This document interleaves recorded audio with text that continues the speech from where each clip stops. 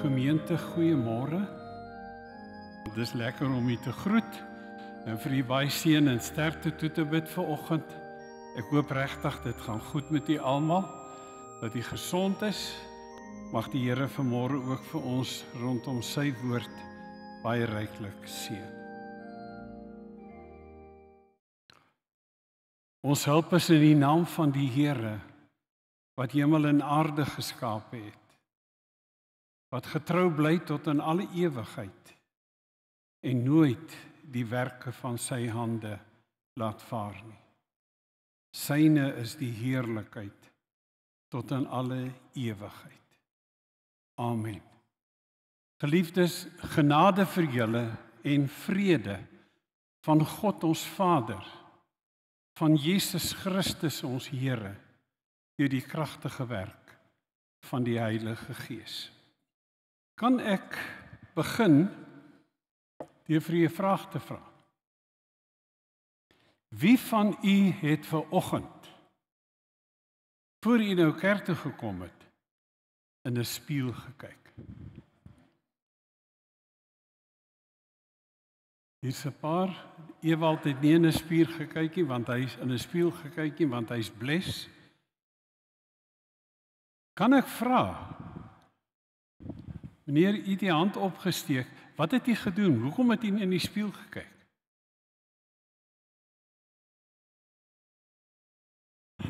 Of ek of ek daarom goed lyk? Nie waar nie. Die vrou kyk of die hare skeef lê, die man kyk of ek goed lyk. So. Daar's 'n ander spieël waarin ons ver oggend wil kyk. En dit is tog baie belangrik dat ons onsself in die spieël van God se woord en sy wil vir ons gaan vestig en kyk en groei en weet wat die Here vra. Eksodus 20. Toe het God al hierdie gebooie aangekondig. Ek is die Here jou God wat jou uit Egipte uit die plek van slawerny bevry het.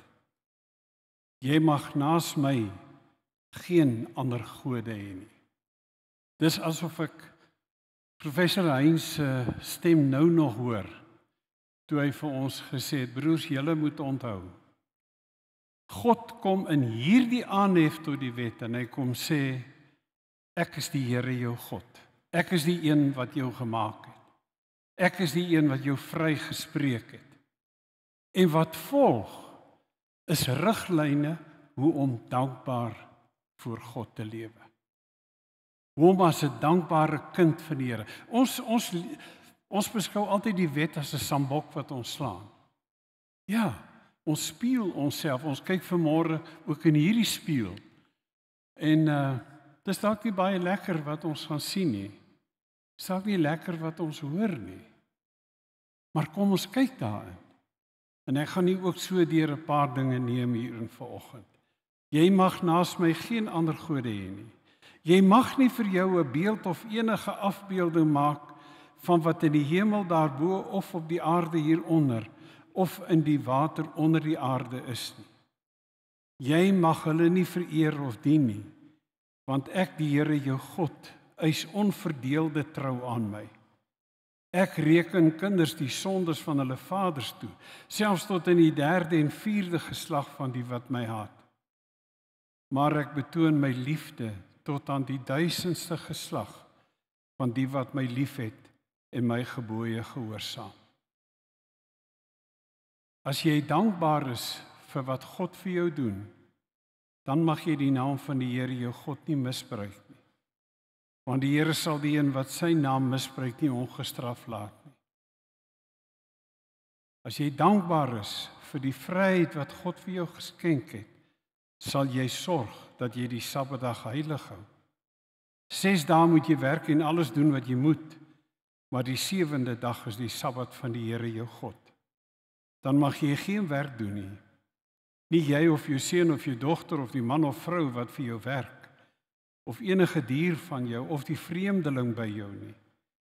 Die Here het in 6 dae die hemel en alles daarin gemaak. Die aarde en alles daarop, die see en alles daarin. Op die sewende dag het hy gerus. En daarom het die Here dit as gereelde rusdag ingestel en dit geheilig. As jy dankbaar is vir die verlossing wat God vir jou geskenk het, sal jy jou vader en jou moeder eer sodat jy baie lewe in jou jare mag hê en lank mag woon in die land wat die Here jou God vir jou gee. As jy dankbaar is vir jou verlossing, sal jy nie moord pleeg nie. Sal jy nie egbreuk pleeg nie. Sal jy nie steel nie. Sal jy ook geen vals getuienis teen 'n ander gee nie. Sal jy niks van iemand anders sy huis begeer nie. Jy mag nie sy vrou begeer nie. Ook nie 'n slaaf of slavin nie. 'n Bees of 'n donkie of enige iets anders wat aan hom behoort nie. Nou is die groot vraag wat ek nie vir u gaan vra nie. Maar ek wil dit tog vir u noem. U moet dit antwoord. As u nou vanmôre in hierdie spieël kyk, hoe lyk u? Wat sien u daar? U sien dis 'n ander saak. En daarom wil ek graag vir u 'n oomblik gee. Wat u net hier oosluit en maar net vir die Here sê, Here, hier is ek. Ek bely wat nie reg is nie. En dan sal ek weer verder gaan. Kom binne 'n oomblik of twee hiervoor.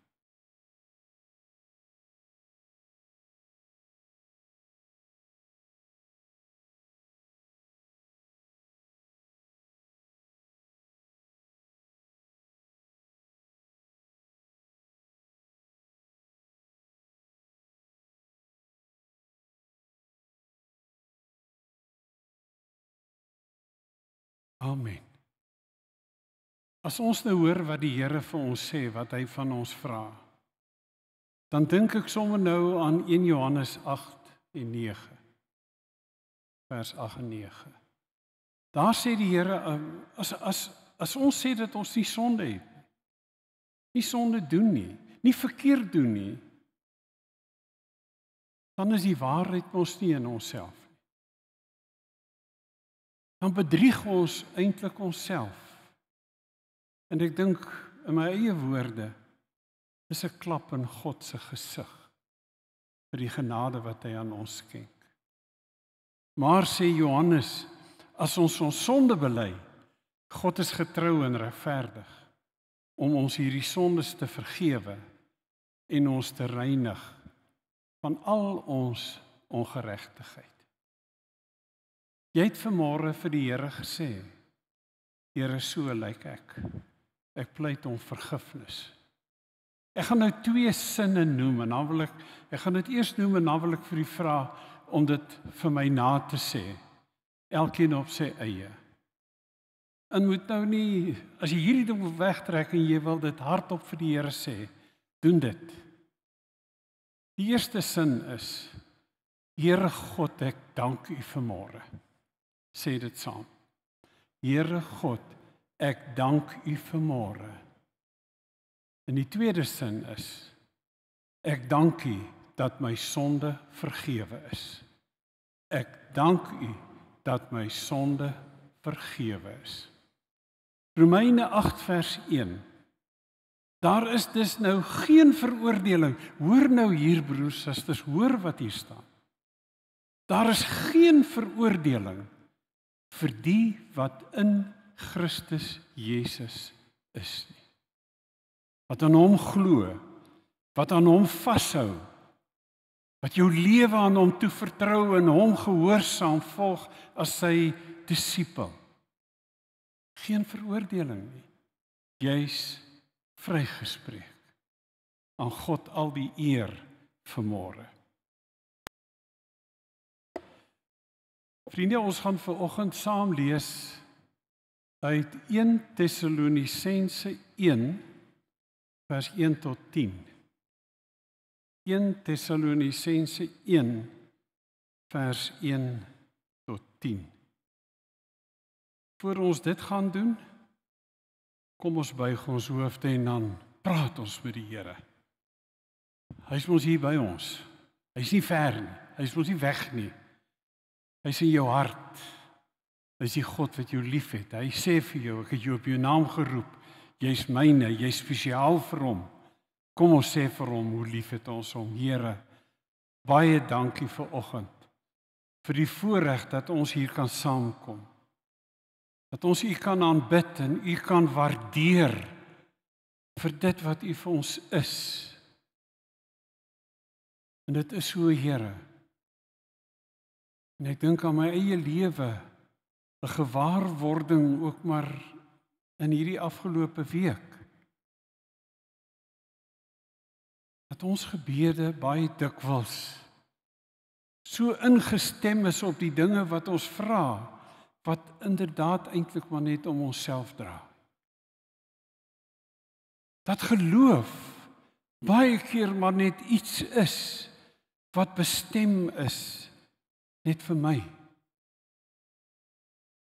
Maar Here, wil U vir ons ons hande en harte oopmaak dat ons genade en liefde kan uitdeel kan gee.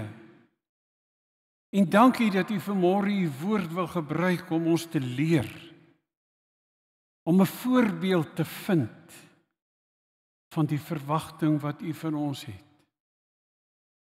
Here seën ons vanmôre. Laat elkeen van ons nou vir onsself afsonder van dit wat hier van buite af op ons inwerk. Dat ons net deur die Gees op U kan fokus om te hoor so sê die Here. Ons bid dit in sy naam. En met dankbaarheid vir Jesus Christus ons verlosser. Amen. Vriende, ek wil baie graag voordat ek hierdie gedeelte gaan lees vir u so 'n bietjie op 'n op 'n reis neem om agtergrond te kry en te verstaan wat gebeur hier. Daardie agtergrondinligting help 'n mens geweldig baie.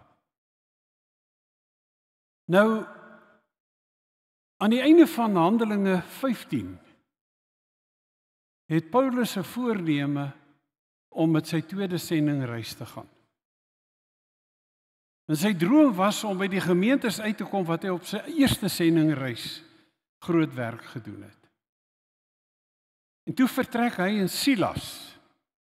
Sommige op hierdie stadium al Silas en die Silvanus van wie u hier in die eerste vers lees, is dieselfde persoon. Dis so Sampie en Samuel. So hulle hy gaan saam met Paulus en hulle is na Ikonium toe in in Derbe en in Lystra. En toe hulle by Lystra kom, toe is daar 'n ander jong man wat Paulus daar raakloop wat 'n geweldige indruk op hom gemaak het. En sy naam was Timoteus. En Paulus het, het, het, Paulus het met hom gewerk en met hom gepraat en en hy het hom besny ook in in so is Timoteus toe nou saam. Soos hulle drie toe op hierdie tweede sendingreis waarvan ons lees in Handelinge 16. En die eienaardige was dat daar sekere gedeeltes was waar hulle net deur die Gees verhinder was om uit te kom. As jy na die kaart kyk in die Bybel, dan gaan jy agterkom dat hulle reis deur Frigië en Galasië en Asië die Gees het hulle verhinder om werk te doen.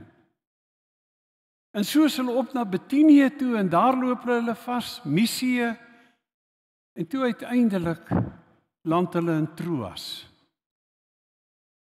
En daar gebeur 'n wonderlike ding. U lees in Handelinge 16 van vers 6 tot vers 10 daarvan. In die nag het Paulus 'n gesig.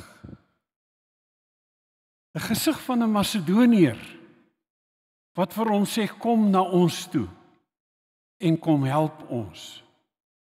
En dit het so indruk op Paulus gemaak dat hy dadelik besluit het om te gaan en hy het geglo dis hoe die Here hom geroep het. En hulle drie is toe daar weg en so het hulle in in Macedonië aangekom. En lees ons ook in Handelinge 16 van die die bekering van Lydia. En toe die gebeurtenisse in die tronk in Filippi en die merkwaardige bevryding wat hulle daar beleef het. En toe die bevryding plaasgevind het, toe gaan hulle na Tessalonika toe. Handelinge 17 kry u al die weergawe wat daar gebeur het. Nou Tessalonika se naam was eers Tessuma wat beteken warm bronne. En later ongeveer 315 voor Christus toets daardie naam verander na die naam wat die destydse koning van ehm um, Macedonië gehad het, sy vrou. Sy was die halfsuster van Alexander die Grote. En toe heet dit Salon Tessalonika. 600 jaar voor Paulus was dit al bekend as 'n groot stad. Hy was geleë aan die hoofroete wat die weste en die ooste verbind het. As jy na die weste se kant toe gegaan het, dan gaan jy dieper in Europa in. En nou moet jy onmiddellik verstaan dat met Paulus se koms na Tessalonika toe beweeg die evangelie van die Here die eerste keer in Europa in. Die hoofweg, dit word ons vertel dat 'n deel van hierdie hoofweg was ook die hoofstraat van Tessalonika. 'n Stad wat later van tyd saam met Agaia en jy sien dit op 'n kaart was dit twee provinsies van die Romeinse ryk. Maar Tessalonika het later sy vryheid ontvang. Wat beteken dat 'n weermag kon nie daar gevestig word nie. Hulle kon self besluite neem en wat dies meer sê. En dis die stad waar Paulus ingekom het. Vir 3 agtereenvolgende dae het hy daar gepreek. Is 'n Sabbatdag het hy daar gepreek in die sinagoge. Nou die mense wat na hom geluister het, het met die die kerkgangers kan ek maar sê van daai tyd was so saaklik Jode ook. Maar 'n groot deel van hulle het gehoor wat Paulus sê. Hy kom praat oor die Messias wat kom. Die Messias wat bevryding bring. Hy is die Christus wat gestuur word. En dan was daar 'n groot groep wat bekend gestaan het as Godvreesende Grieke. Dit was mense wat nog nie tot geloof in Jesus gekom het nie, maar wat eintlik in hulle self in opstand was teen die veel gode afgode dom wat die Grieke aanbid het. En hulle het ook in opstand gekom teen die lae etiese norme wat gehandhaaf is. En so kom Paulus. En Paulus bring die woord van die Here aan hulle. En baie van hulle kom tot bekering saam met Jood Jode wat Christene nou geword het. Daar was ander dele van die bevolking ook mense uit die ooste.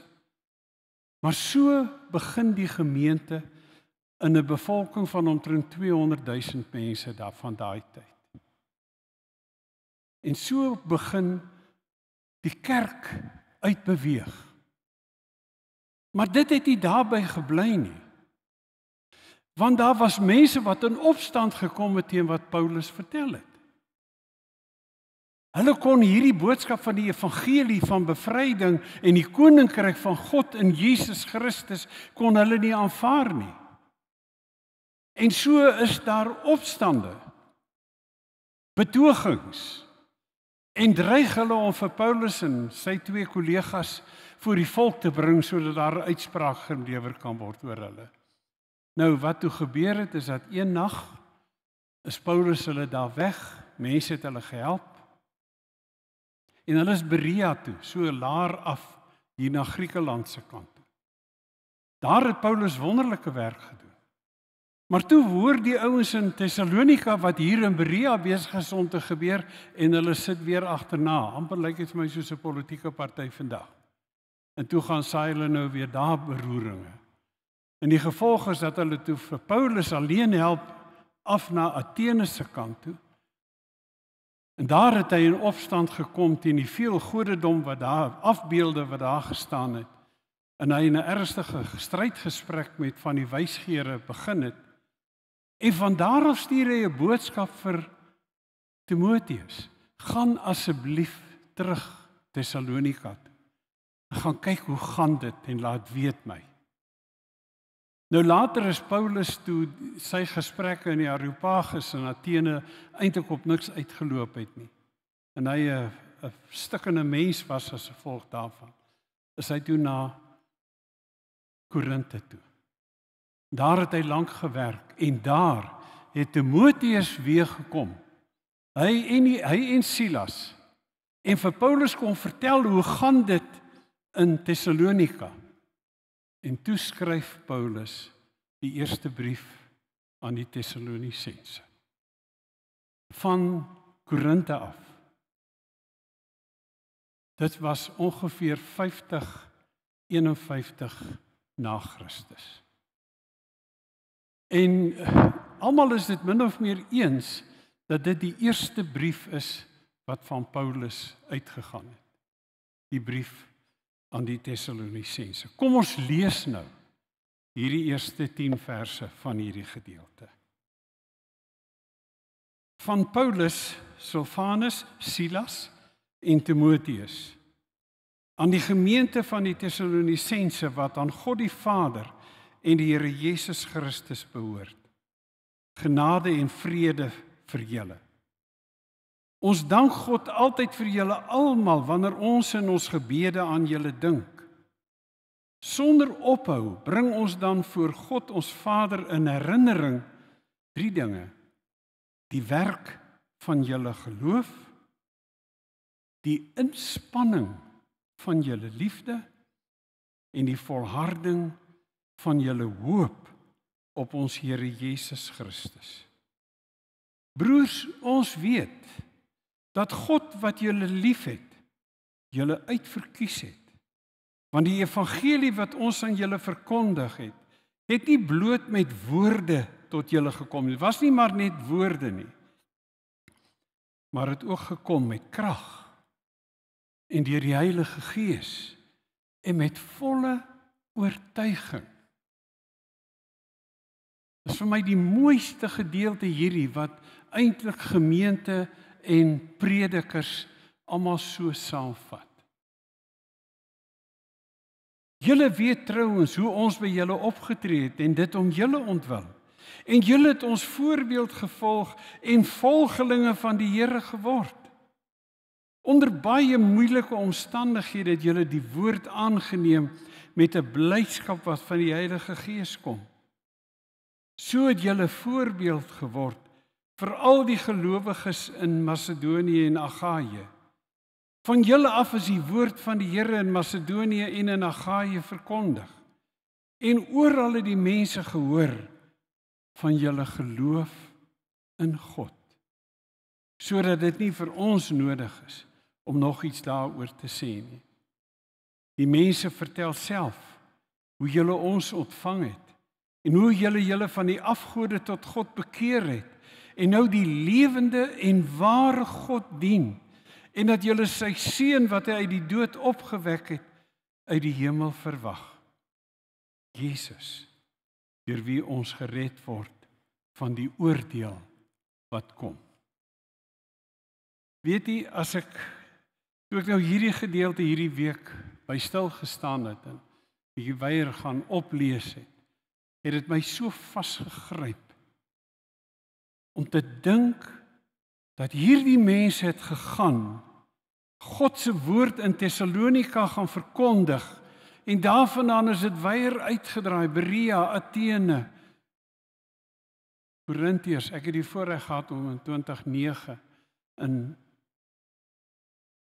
Korintiërs te staan en te kyk na die berg links waar die wag die leermag was in oor die see te kyk en wonder.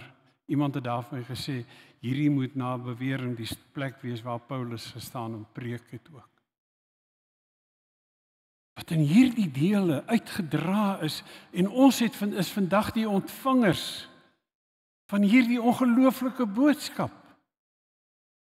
Paulus begin deur te kom sê ek as ek bid dan roep ek 'n herinnering wat ek gehoor het by julle nou heers.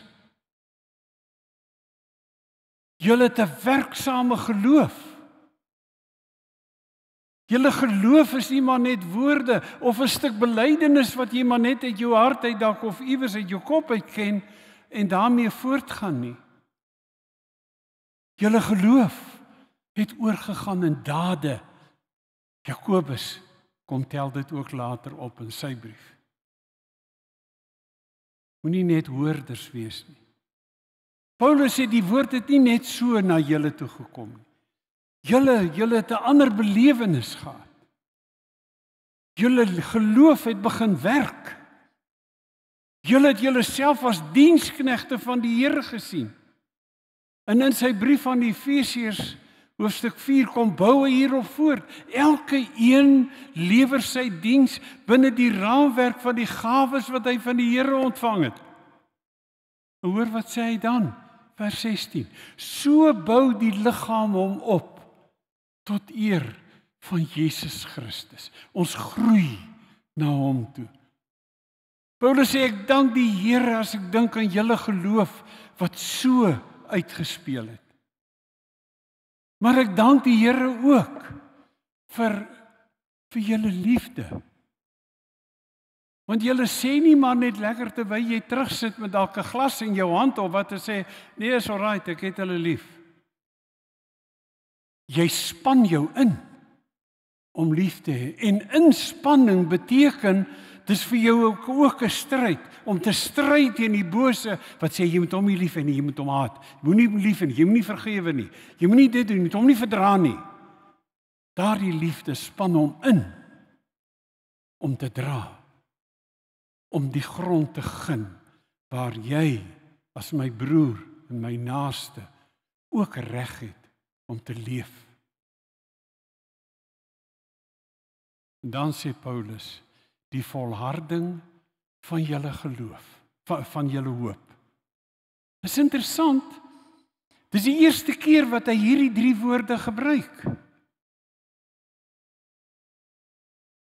Julle geloof, julle liefde en julle hoop.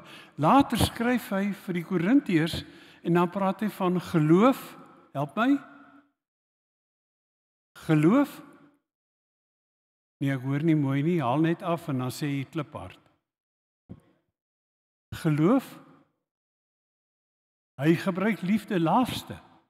Hoop is in die middel. Maar hier aan die Tessalonisense praat hy van hoop as die laaste woord. En hy het 'n doel daarmee, want by die Tessalonisense het daar 'n verwagting ontstaan dat die Here môre kom. Die wederkoms gaan nou baie gou plaasvind. Kompanie werk toe die. Nee, ek gaan nie hierdie apostel het kom vertel ons hoe die Here verwag.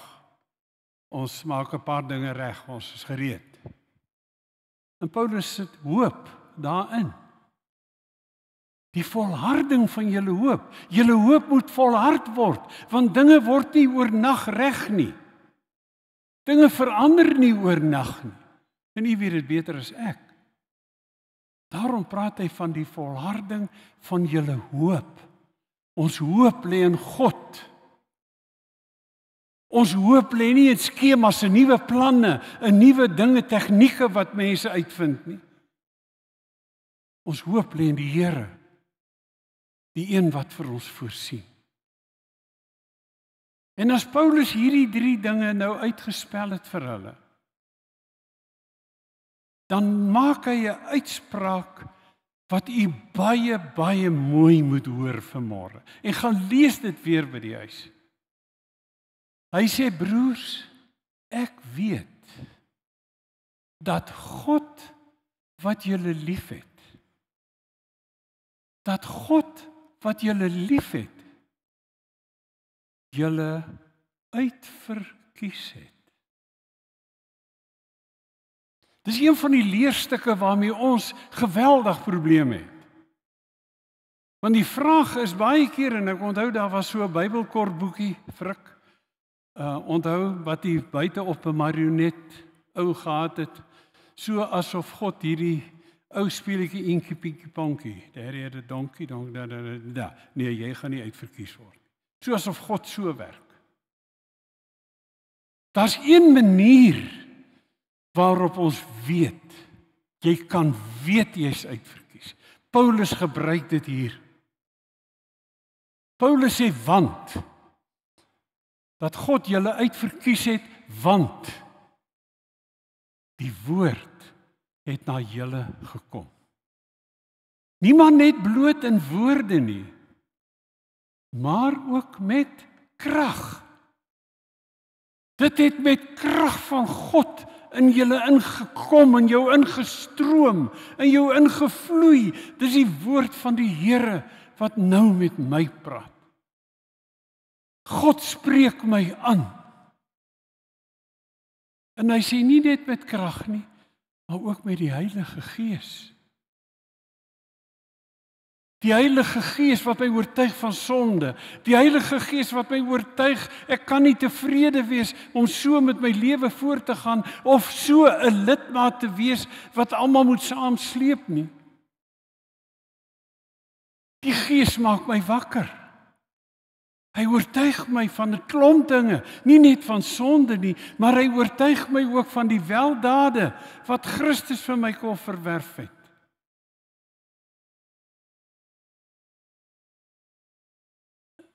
En dan sê Paulus 'n wonderlike ding. Naas die inwerking van die Heilige Gees het dit na julle gekom met volle oorgawe.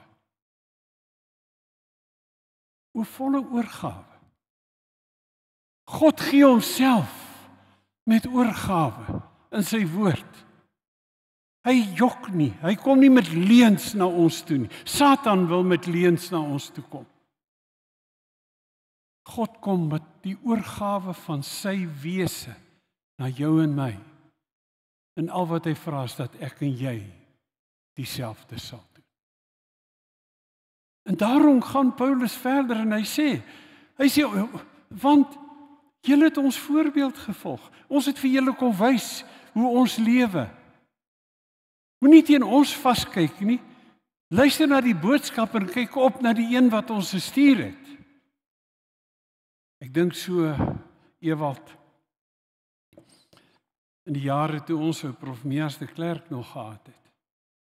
Het hy eendag in die klas vir ons gesê: "Broers, jy gaan wonderlike geleenthede hê om God se woord te bring. Pas op. Moenie dat die mense net vir jou raak sien Hulle moet as die preek verby is sê wat 'n God, wat 'n Christus dien ons nie. Ek het nie 'n groter begeerte in my hart vir julle nie. Moenie Sondag kerk toe kom en dan maar net hier sit en sê o, okay, dit was nou dit. Gaan leef wat God sê. En nou sê Paulus 'n wonderlike ding. Hy sê ons het julle met oorgawe die woord aan julle kom bedien. Ons het vir julle geleer, ons het vir julle gewys en julle het dit aangeneem. En soos julle boodskap en julle lewe as gemeente as kerk is dit uitgedra hiervandaan al verder in Berea. In Athene kon ons dit gaan verkondig, maar mense het gehoor van julle. Mense het begin praat van julle. En hulle het gepraat oor oor hierdie mense dien die Here. Hierdie mense glo in God as die enkel wese. As die een wat in sy seun redding gebring het. Mense het begin praat van van hoe julle julle geloof uitleef van hoe julle gesellig saam kan leef en vir die wêreld kan wys so leef God se kinders. Ja, dit was soms nodig dat ons gehoor dat hierdie ou vir daai ou gesê het nee nee ons ons moet nie so leef nie. Maar hy het hom nie vererg toe die ou dit vir hom sê nie. Hy het gesê dankie. Dankie. Jy help my. En so is God se woord Europa in. Wat 'n ongelooflike oomblik. Wat 'n belangrike momentum in die geskiedenis van die uitdra van die woord van die Here het Tessalonisense nie geword nie. Mense het gepraat. En 'n absolute dringende verwagting oor die wederkoms gehad. Ons probleem is vandag dat ons sê ag dit werk nie so nie. Iewers het die Here self gesê maar die evangelie moet eers aan al die mense verkondig word en ek hoor hulle praat van soveel mense in daai land en in daai land wat nog nie gehoor het nie. So ek het nog tyd. Ons kan nog lekker rustig wees en ons kan voortleef asof ons nie die Here ken nie. Dis verkeerd. Want weet jy wat? Daar's 'n individuele en 'n universele wederkoms. Die individuele wederkoms vir my is wanneer ek sterf. Dan er, dan het Jesus vir my gekom. Wat daarna gebeur kan niks verander nie. Dan is ek wat ek was. Die universele wederkoms is wanneer hy op die wolke kom. Daardie groot oomblik wanneer die hemelse trompette gaan blaas en Jesus sy verskyning gaan maak tot seën van ons almal. So daarom kan ons nie slaap nie. Daarom moet ons elke oomblik gereed wees. Ek praat gister met 'n ander predikant wat vir my sê hoe dat by hom hy het ook 'n moeilike pad met COVID geloop. Toe sê hy vir wie jy dat daar oomblikke kom wat ek momenteel hier in hierdie oomblik waarmee is ek nou besig? Sjoe. Sien dit my so aangetas. En as ek omdraai, as ek van my voete af. Ek kan nie vas staan nie. Hy sê en toe ek begin wonder, gaan die einde ook so wees? Dat ek in 'n oomblik nie gaan weet nie en wil omdraai en dan sak ek aan mekaar. Ons weet nie, ons weet nie wanneer die Here kom nie. Hoor wat Paulus gesê het. Onthou die Here kom. As mense wat dit verkeerd hanteer, en verwarring saai. Onthou die individuele wederkoms vir jou en vir my. Daarna het ons niks anders wat ons meer kan doen nie. Wat jy dan geleef het en gekies het. Iemand het hierdie week daar aan ons oort kom praat. Toe sê die persoon wat jy is hang af van jou agtergrond en jou opvoeding. Wat jy word is jou verantwoordelikheid. Wow. Dis jou verantwoordelikheid. En daarin kan ons mekaar help. Oral praat mense van julle geloof. Wat 'n wonderlike oomblik moet dit wees, nie om die lig op ons te trek hier in Wonderboomsuid nie. Dis nie waarvoor God ons hier het nie. Om sy lig te kan vertoon. En ons gaan net nou sing daarvan. Om sy lig te laat skyn. Om mense nader te trek na hom toe. Ons is dankbaar as ander praat van ons geloof want dan het dit dan het ons ons getuienis krag uitgeleef waartoe ons geroep is. Maar nie ek nie, Here. Nie ek. Al die lig op U. Is jy bereid om so te leef? Is jy bereid om om so uit te leef dat hierdie boodskap wat hiervandaan hierdie is God se uitsendingstasie in hierdie deel van ons land, in hierdie deel van Pretoria. Om hier in te skakel. Moenie vir my sê asseblief, ek vra jou mooi, moenie vir my sê jy's te oud nie. Nee. Ek wil nou sommer dadelik sê dis nonsens. Dis nonsens. Jy kan bid. As jy dink dis al wat jy kan doen, en weet jy wat so groot werk kan jy doen? Absoluut. Daar's iets wat die Here in jou hart gelê het. Al sit jy in 'n reistool, te kan uitleef en jou vriendelikheid te laat uitstraal, laat mense sê, "Wow. Ek kan nie glo dat hierdie persoon met soveel positiwiteit deur die lewe kan gaan nie. Dit spreek my aan." Ja. Dis waar jy in ons op pad is. Dis wat ons graag wil word. Dis ons keuse. Dis jou keuse. Mag die Here vir ons baie ryklik seën. En ek hoop jy het 'n ongelooflike dag vandag. Dat jy gaan terugdink hierdie hele week aan 1 Tessalonisense. Gaan lees hoofstuk 2 en 3. 3 vertel vir jou toe hy in Athene was, hoe hy toe die boodskap gestuur het vir Timoteus en hoe hulle later teruggekom het. Dis 'n pragtige boek om deur te werk, brief om deur te werk. En dit versterk en verryk jou geestelike lewe. Aan God al die eer van nou af tot in alle ewigheid. Amen. Kom ons bid saam. Hemelse Vader, ons voel partykeer as ons die woord lees en ons hierdie goed hoor, ek wil daar in 'n hoek gaan sit En ek wil net met u praat en sê Here maak my soos u my wil hê. Maak my wat ek nog nie is nie. Kom gee my Here wat ek nog nie het nie. Maar een ding weet ek. Ek moet uitgaan.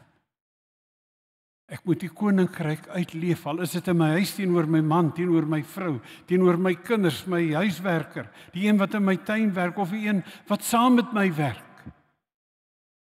Dis my roeping, Here. Help ons as gemeente om daarna toe te groei.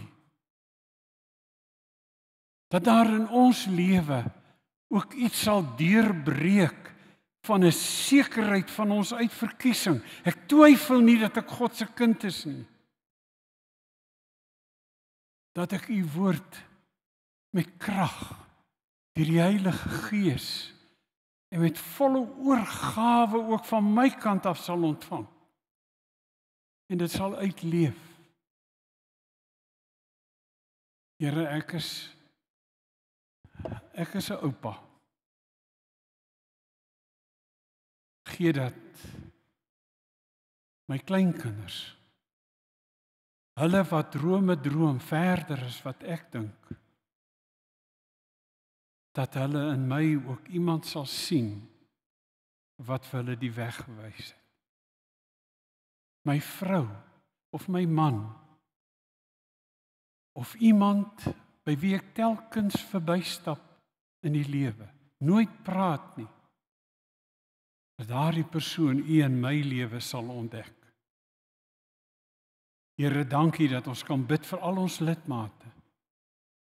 Elkeen in hulle besondere omstandighede. Ons bid vir ons gesondheid. Ons bid vir krag. Ons bid Here dat U ons sal seën. Dankie vir elkeen wat 'n besondere diens hier lewer. Dink aan ons kerkkantoor. aan die werk wat daar gedoen word. Ons dink Here aan 'n nuwe sekretaresse in Anne Marie se plek. Ons bid dat U vir ons sal voorsien. Ons bid vir elke kerkraadslid. Dat elke kerkraadslid onder die geklank van U woord en die inspreek van die Heilige Gees in ons lewens sal verstaan wat beteken dit om regtig 'n kerkraadslid te wees.